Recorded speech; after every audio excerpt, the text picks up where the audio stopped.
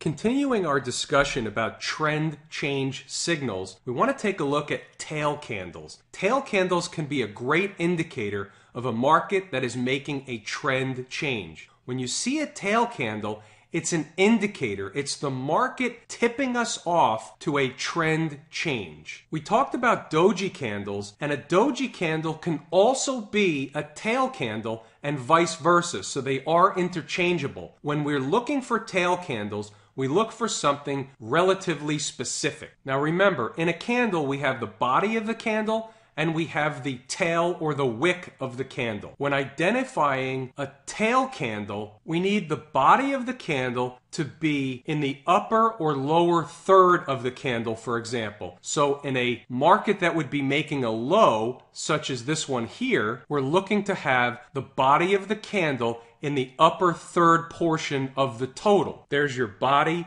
in the upper third and a tail candle below. This is a good indicator of a market that is making a trend change. Just like everything else, we don't use these alone without other technical factors present on the charts. In order to increase our probabilities of a trend change, we want to be into an area of support, we want to have a proper candle count, for example. The more items we can identify that all point to the same thing, the better off we are. The more we increase our odds, the more we increase our probabilities of being correct. So while this candle also can be considered one of my pseudo doji candles, it's also considered a tail candle and you can see what happened. The market did reverse and traded in the upward direction. Here's another example. Here's a tail candle with the body of the candle, at least in the upper third of the candle, into the 200 period moving average signified by the black line running underneath the tail. That would be an area of support. And this is a longer tail signifying the probability of a trend change. Now, what's really happening here and what produces the tail candle are buyers and sellers. And what's happening is you can see that intra candle, and this is a 10 minute candle. So within this 10 minute span, earlier in the candle, the market was trading lower than where it finished. But by the end of the candle, the market traded higher and closed towards the upper portion of the candle, signifying that the buyers are winning the battle and the buyers are forcing a trend change in the market there's more buyers than sellers, which pushes the price higher. On the flip side, we can take a look at a tail candle that signified the exact opposite where the sellers were winning the battle. Here the market was going higher, but yet it stalled out and changed directions and traders can get the tip off from the fact that there was a tail candle, which means intra candle within this 10 minute span, the sellers won the battle, sending the market in the other direction.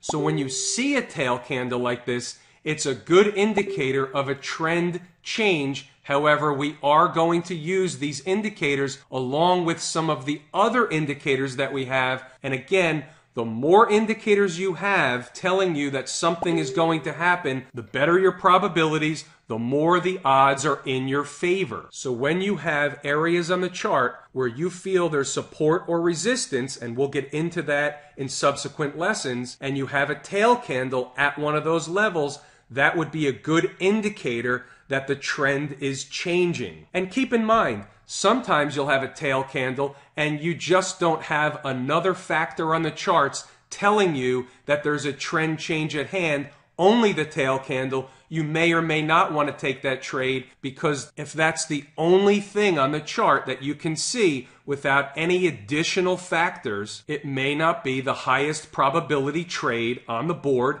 and therefore you may just want to take a pass. And that's important in trading. When we have multiple items on the chart telling us the same thing, that there's a probability of a trend change, that's one thing. But when you only have one thing telling you something is probably going to happen, that may not be the best trade to take, and therefore sometimes the best trade is no trade. Here's another example using a 60 minute chart where you can see a tail candle into the 200 period moving average that would be an indicator of a trend change. Intra candle within this 60 minute span of time, the market traded lower, it traded into the 200 period moving average, and it reversed, finishing close to the high of the candle, creating the tail candle and giving you an indication that a trend change was at hand. Staying with the 60 minute chart, Here's another example. The market traded down, reversed within this 60 minute span of time, finishing near the top of the candle. The body of the candle is in the upper third of the candle, creating a nice tail candle, giving you an indication of a trend change. Another very important thing to note about these tail candles and how the market acts and reacts is what happens in the next candle or even two candles. As you can see here, even though the tail candle signifies a trend change at hand, the following candle, and in this case two candles, came down about halfway to the old candle low, the tail candle low. That's called a retracement. You'll find that a lot. and It's also designed to fake out traders. What happens is, once the tail candle closed, the following candle retraced a portion of the move. You'll generally find retracements will come down about 50% of the tail candle. It's really designed to make traders think they're wrong if they entered the trade after the tail candle closed. Inexperienced traders will think they're wrong, they exit the trade, and then the market reverses. Retracements happen a lot, and the safe trade to make after a tail candle is to wait for the retrace. So instead of entering a trade right at the close of the candle here, the more prudent and safe thing to do is enter the trade on the retracement of the tail candle, which minimizes your risk. Why? Because if you enter the trade on the retracement right about here, you have something closer by to trade against. You're trading against the tail candle low, which means if any candle closes below the tail candle low, you move out of the trade that's when you know you're wrong and the market is no longer prone to go higher. So entering a trade where the arrow is, I know that my stop out would be any close below the low of that tail candle. That's how the pros do it. The amateurs would enter at the close of the original tail candle and generally get whipped out of the trade on the retracement. Don't get whipped out of the trade on a retracement. Not only are we trying to put the odds and the probabilities in our favor, but we're also trying to give ourselves the lowest possible risk with the highest possible reward. Tail candles are a fabulous way to identify a trend change at hand.